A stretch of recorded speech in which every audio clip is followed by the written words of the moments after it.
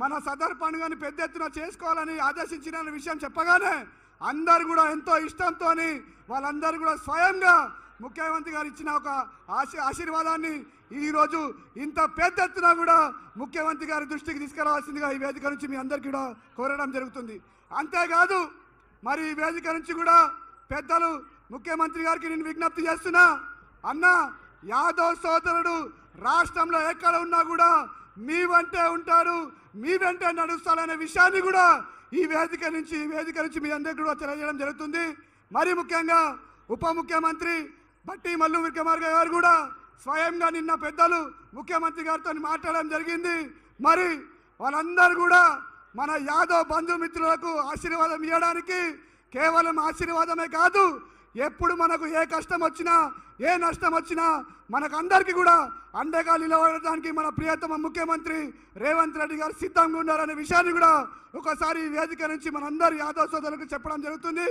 మరి ఇప్పుడు పెద్దలు మనందరి ప్రియతమ ముఖ్యమంత్రి మాట్లాడే ముందు ఒకసారి మన యాదవ్ సోదరుల డప్పు ఇడికి తీసుకురావాల్సిన కోరుతున్నారు ఒకసారి గట్టిగా యాదవ్ సోదరులు ఒకసారి గట్టిగా.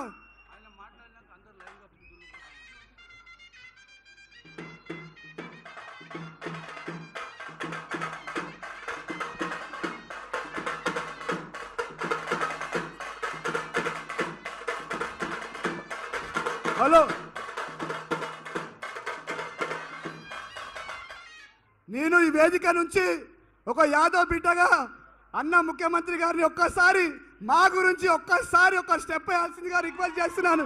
ఏ, గట్టిగా వేయాలంట మన రేవంత్ అన్న నిగ్గదీసి అడిగే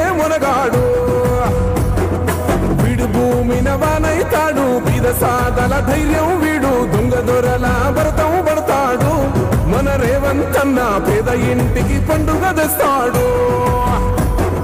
సోనియమ్మ దివెనతోని రాహులన్న సైనికుడయ్యి పెద్ద కొడుకై యుద్ధం చెయ్య సిద్ధమాయే రేవంత్ మూడు రంగుల జెండా పట్టి సింగమోలే కదిలినాడు. ఒక్కరో కాంగ్రెస్ సూర్యుడు మన రేవంత్ నిగ్గదీసి అడిగే మొనగాడు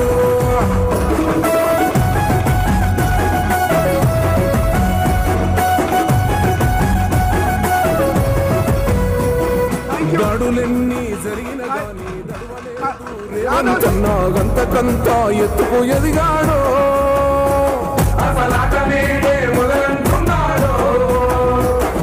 ముక్కనాడు పోలేదు ఒక్కడయ్యి కొట్లాడాడు అందుకే పెద్ద నాయకుడయ్యాడు మన ముఖ్యమంత్రి గారు మన గురించి ఈ రోజు ఇంత ప్రేమ చూపించిందంటే ఒకసారి గట్టిగా అందరు గట్టిగా చప్పట్లతో గట్టిగా చప్పట్లతో కృతజ్ఞతలు చెప్పాలి ఇప్పుడు మన అందరి ప్రియతమ ముఖ్యమంత్రి పెద్దలు రేవంత్ అన్న గారిని మాట్లాడవలసిందిగా కోరుతున్నాను.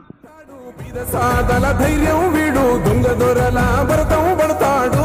మన రేవంత్ అన్న పేద ఇంటికి పండుగ తెస్తాడు. జై యాదవ్.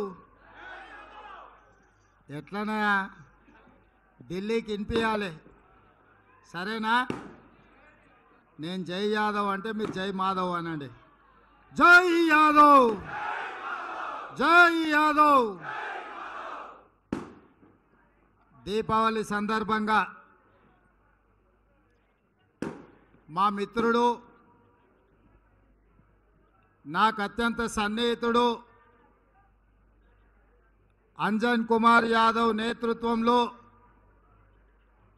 రాజ్యసభ సభ్యులు